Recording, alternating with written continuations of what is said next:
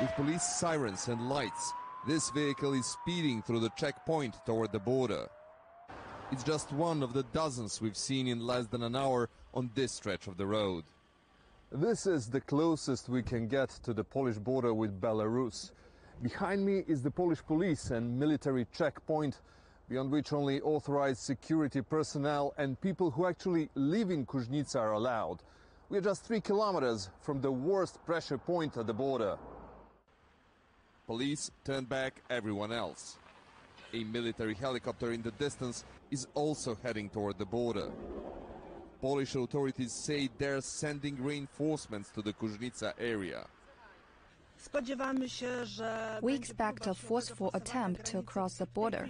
At the moment, we have directed all the forces we could direct there. These are, of course, officers of the border guard, and of course, we are supported by soldiers and police officers. This section of the border is also patrolled by a police helicopter. At dusk, we arrived at the nearby village of Bohoniki. It's one of the last remaining Muslim Tatar communities in this part of Poland. A handful of locals have gathered here to bury a Syrian migrant who drowned in the Bug River when he tried to cross from Belarus.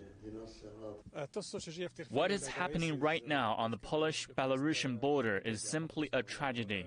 Unfortunately, the refugees there have terrible conditions. That's the worst side of all this. I hope they will receive help in some way, that countries agree on how to do it, how to help them, whether they be taken to Germany or taken back to their own countries. 19 year Ahmed Al Hassan didn't reach Germany, nor did he have a chance to go back home to Syria. Another migrant who had better luck getting to Germany is also there, on a video phone call with Ahmed's family. A heartbreaking scene, but hardly the last one in this sad story at the Polish-Belarus border.